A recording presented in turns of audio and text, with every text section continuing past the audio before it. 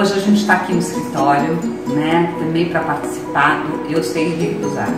E dando um exemplo de quando você pode recusar plástico no escritório.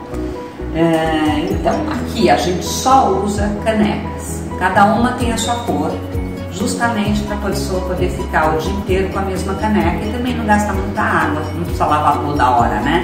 Então, depois no final do dia você vem, lava sua xícara. A mesma coisa em relação a copos, a gente não usa copos de plástico de jeito nenhum, nada, nada descartável aqui. Aqui é tudo o que você usa, depois você lava e guarda. E também pensando em não utilizar muita água, né, para lavar. A mesma coisa em relação aos talheres, aos pratos, enfim. Tão fácil, né? Então faça você também. Não use plásticos nem descartáveis na sua empresa. Um beijo.